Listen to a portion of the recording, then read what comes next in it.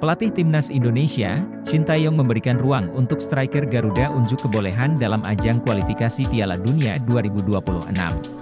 Timnas Indonesia yang melawan Brunei pada leg pertama kualifikasi Piala Dunia 2026 ini diperkuat oleh empat striker, Dendi Sulistiawan, Dimas Drajat, dan dua pemain muda hoki Caraka dengan Ramadan Sananta.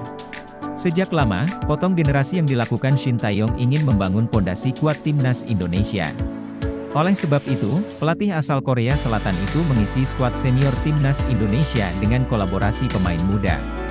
Harapannya, pada tahun-tahun mendatang mereka bisa menjadi tumpuan bagi timnas Indonesia.